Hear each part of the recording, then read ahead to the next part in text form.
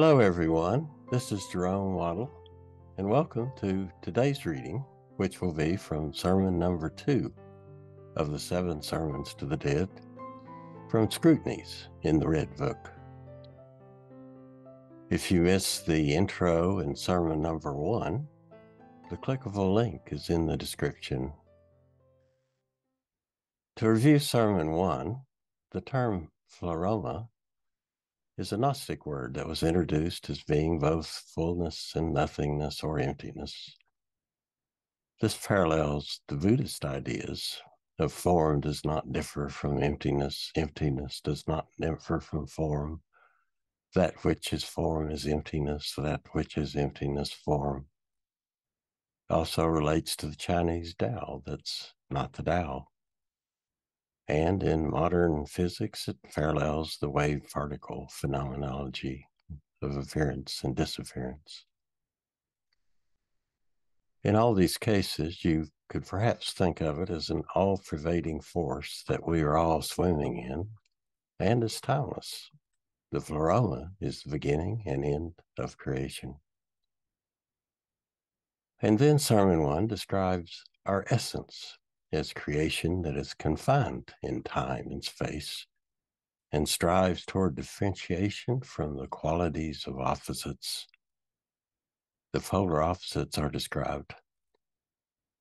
In my view, this is where the teaching begins, where it is wrong to identify with only one element from a pair of opposites, as the other element will eventually take over and seize us.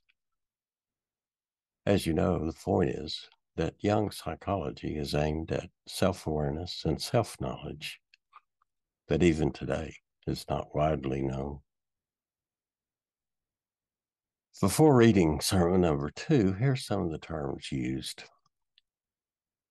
Helios is the Greek sun god, sometimes called the Titan, who drove a chariot daily from east to west across the sky and sailed around the northerly stream of the ocean each night in a huge cup.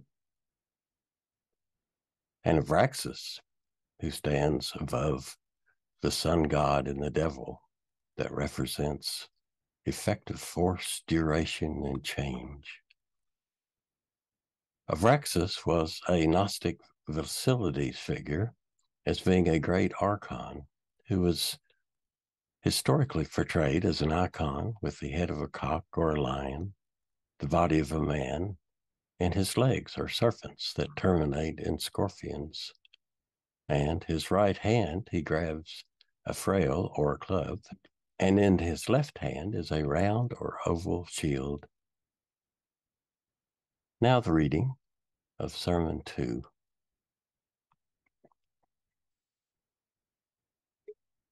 That night, Philemon stood behind me, and the dead drew near and lined the walls and cried, We want to know about God.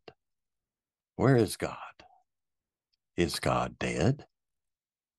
But Philemon rose and said, and this is the second sermon to the dead God is not dead, He is alive as ever God is creation, for he is something definite and therefore differentiated from the pleroma.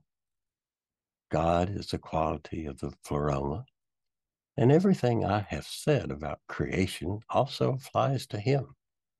But he is distinct from creation in that he is much more indefinite and indeterminable he is less differentiated than creation, since the ground of his essence is effective fullness. Only in so far as he is definite and differentiated is he creation, and as such, he is the manifestation of the effective fullness of the pleroma. Everything that we do not differentiate falls into the pleroma and is canceled out by its opposite. If therefore we do not differentiate God, effective fullness is canceled out of us. Moreover, God is the pleroma itself, just as each smallest point in the created and uncreated is the pleroma itself. Effective emptiness is the essence of the devil. God and devil are the first manifestations of nothingness, which we call the pleroma. It makes no difference whether pleroma exists or not, since it cancels itself out completely. Not so creation. Insofar as God and the devil are created beings, they do not cancel each other out, but stand one against the other as effective opposites. We need no proof of their existence. It is enough that we have to keep speaking about them. Even if both were not, creation would forever distinguish them anew out of the pleroma on account of their distinct essences. Everything that differentiation takes out of the pleroma is a pair of opposites. Therefore, the devil always belongs to God. This inseparability is most intimate, and as you know from experience, as indissoluble in your life as the pleroma itself since both stand very close to the pleroma, in which all opposites are canceled out and united. Fullness and emptiness, generation and destruction are what distinguish God and the devil. Effectiveness is a common to both. Effectiveness joins them. Effectiveness, therefore, stands above both and is a God above God, since it unites fullness and emptiness through its effectuality. This is a God you knew nothing about because mankind forgot him. We call him by his name, Abraxas. He is even more indefinite than God and the devil. To distinguish him from God, we call God Helios, or Sun, S U N. Abraxas is effect, Nothing stands opposed to him but the ineffective. Hence, his effective nature unfolds itself freely. The ineffective neither exists nor resists. Abraxas stands above the sun and above the devil. He is improbable probability, that which takes unreal effect. If the pleroma had an essence, Abraxas would be its manifestation. He is the effectual itself, not any particular effect, but effect in general. He takes unreal effect because he has no definite effect. He is also creation, since he is distinct from the pleroma. The sun has a definite effect, and so does the devil. Therefore, they appear to us more effective than the indefinite Abraxas. He is force, duration and change. The dead now raised a great tumult, for they were Christians. But when Philemon had ended his speech, one after another the dead also stepped back into the darkness once more, and the noise of their outrage gradually died away in the distance. When all the clamor had passed, I turned to Philemon and exclaimed, Phidias, wisest one, you take from men the gods to whom they could pray. You take alms from the beggar, bread from the hungry, fire from the freezing.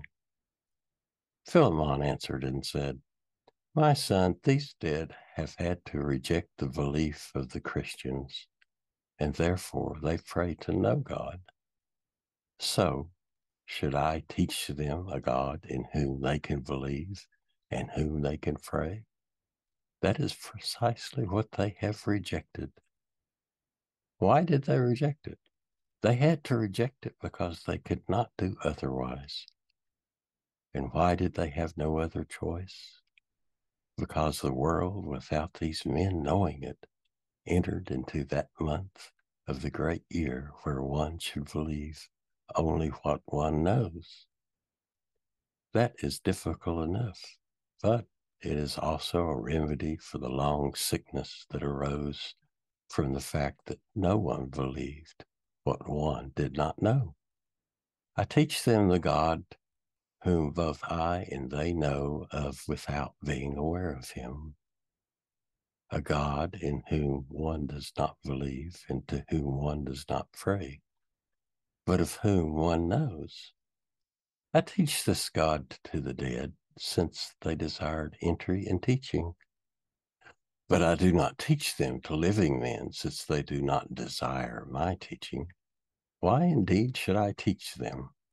Therefore, I take them away from them no kindly hearer of prayers, their Father in heaven. What concern is my foolishness to the living? The dead need salvation since they are a great waiting flock hovering over their graves and long for the knowledge that belief and the rejection of belief have breathed their last. But whoever has fallen ill and is near death wants knowledge, and he sacrifices pardon. It appears, I replied, as if you teach a terrible and dreadful God beyond measure to whom good and evil and human suffering and joy are nothing.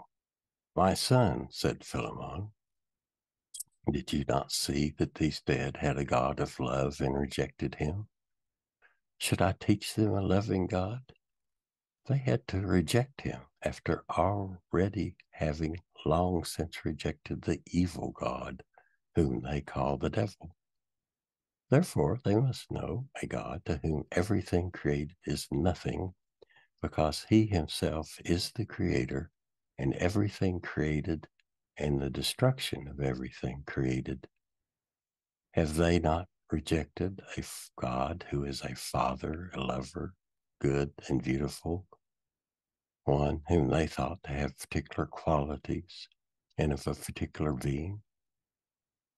Therefore, I must teach a God to whom nothing can be attributed, who has all qualities and therefore none, because only I and they can know such a God.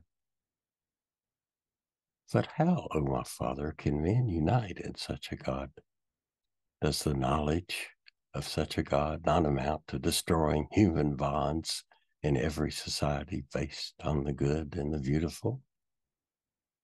Philemon answered, These dead rejected the God of love, of the good and the beautiful. They had to reject him, and so they rejected unity and community and love in the good and beautiful and thus they killed one another and dissolved the community of men. Should I teach them a God who united them in love and whom they rejected? Therefore, I teach them the God who dissolves unity, who blasts everything human, who powerfully creates and mightily destroys. Those whom love does not unite, fear compels. And as Philemon spoke these words, he bent down swiftly to the ground, touched it with his hand, and disappeared. Thank you for listening. That's the end of Sermon 2. And stay tuned for Sermon number 3. Thank you.